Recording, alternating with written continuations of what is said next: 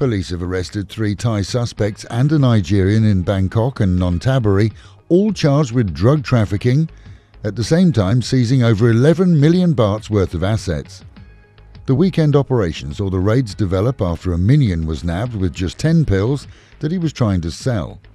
He quickly squealed on his supplier, who was caught in a sting, and subsequent raids netted marijuana, ecstasy, 43 bottles of ketamine, and crystal meth.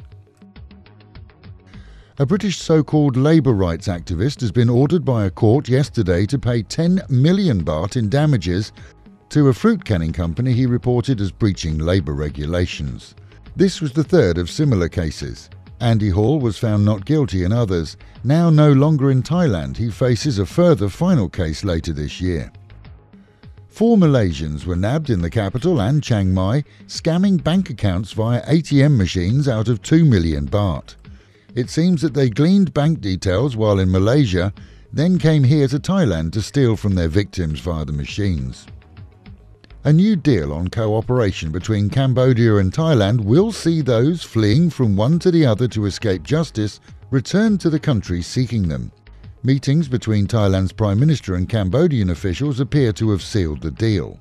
Once the deal is implemented, it will assist in cases similar to that of British man Tony Kenway, who was gunned down here last year and his British killers fled across the border to safety. Thailand's polo associations have made it clear that they were in no way involved in the cruelty lashed out at animals by handlers prior to an elephant polo competition in Bangkok. With several sponsors dropping out of future events after footage revealed vicious treatment of the animals prior to their appearing in the Games, it's been made clear by the organisers that these were isolated incidents and do not warrant cancellation of events. Meanwhile, at home and in Pattaya, swimming while drunk is a no no in the city. Doing so at four in the morning is even dafter. But tagging along with a local Thai lady, well, that just saved one tourist's life.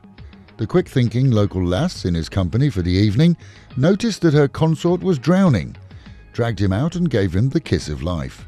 Onlookers watched as the woman gave him CPR, reviving him before police arrived.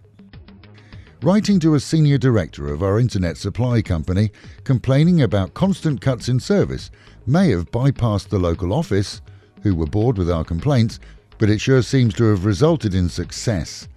Two engineers arrived in the fabulous studios yesterday, checking every inch of their fibre cables and promising to come back again today to replace even more. For over a year, we've reported to you that we've endured cuts and loss of streaming. We hope that from today, you'll be able to enjoy our streaming of TV and radio without interruption. And with the Met Office promising highs today of around 32, dropping down to 25 tonight, and a good chance of storms throughout the day.